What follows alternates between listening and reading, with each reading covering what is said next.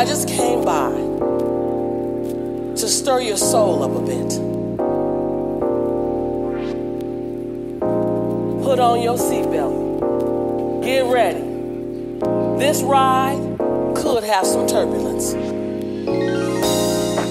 Hello everyone, so today I'm going to be doing a video on makeup for glasses wearers or just if you're wearing sunglasses whatever this will suit you. And I as you guys know I don't have a prescription. These I just got the clear glass and mine are really pretty. They're pink. And I got sent these by a company called Firmoo they were really nice to send me a pair.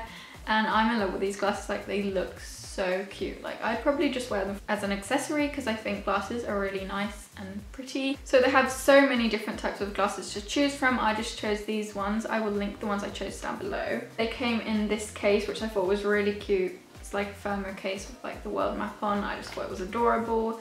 And then inside were the glasses and then I got just one of these things to wipe your glasses clean. The delivery was quick. I like the quality of them. So I just created a really simple eye look like this is really annoying because there's I have a studio light there which is shining on my eyes so you can't really see the eye makeup through the glasses right now. And I think this makeup's really nice and you can even wear it even if you're not a glasses wearer but this is what I made for glasses wearers and I'm gonna have some tips and tricks for you guys for applying makeup if you wear glasses. And I also have a free pair of glasses for you guys so you can collect your free pair of glasses by clicking the link down below, including frame and lenses. All you need to do is enter your email address in on this link and you'll get a voucher code. Yeah, I'm really pleased with the quality of these eyewear. Like they're not flimsy, they're actually really good quality. So let's just head on right into it.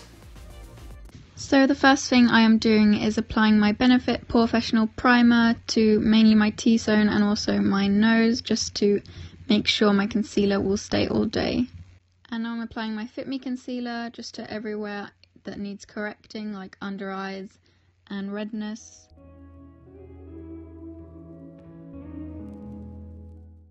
And I'm just blending that in with my beauty blender. And now I'm going in with my setting powder. Um, it's just a translucent powder and this is really important if you want your makeup to stay in place all day without moving.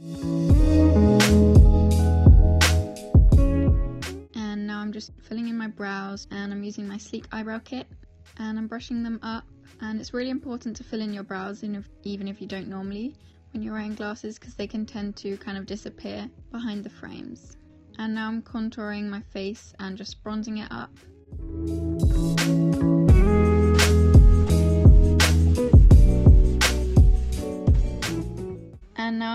Applying a blush to my cheeks just to make myself look a bit more alive and happy. And now I'm just applying this cream highlight to the highest parts of my face.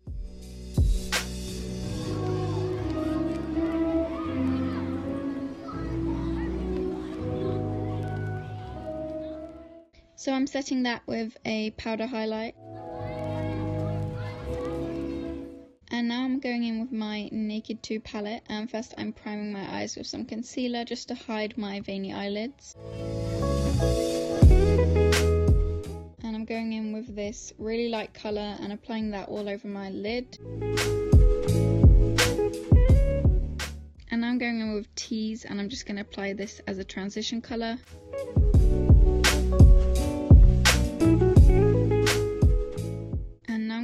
Snake Bite and darkening up my outer V and my crease.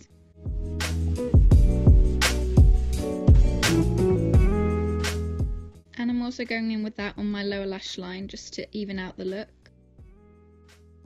And now I'm taking Booty Call and I'm putting that on the center of my lid and the inner corner. And now I'm just darkening up my outer V and my crease. And now I'm highlighting my brow bone and my inner corner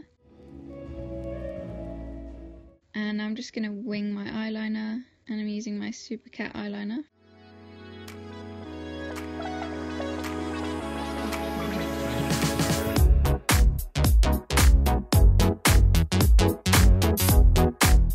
And now I'm just curling my lashes and applying my favourite mascara and I wouldn't recommend using falsies because they will just touch the frames all the time and it will be super annoying And now I'm just using some glitter and I'm applying that to the inner corner.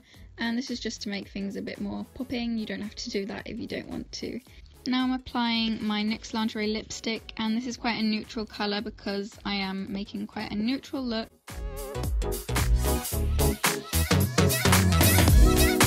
And now I'm just contouring my nose and my lower lip just to give the illusion of fuller lips. And that is the completed look. I really hope you enjoyed it.